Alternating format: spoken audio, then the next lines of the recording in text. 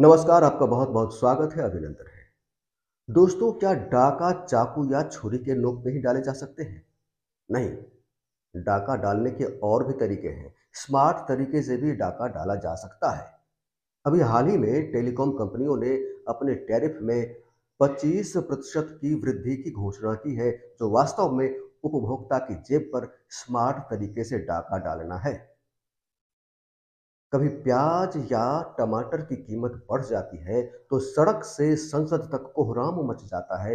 लेकिन इन बढ़े हुए टैरिफ के बारे में कोई चर्चा करने वाला नहीं है, ना संसद में, ना सड़क पर। कोई रिक्शा वाला, ठेला वाला आपसे दो चार रुपए ज़्यादा क्या मांग लिए? आप उसके साथ ऐसा बिहेव करते हैं जैसे उसने आपसे आपके जायदाद की पावर ऑफ़ अटर्नी मांग ली हो। भाई, रेट बढ़ाइए आप टैरिफ की।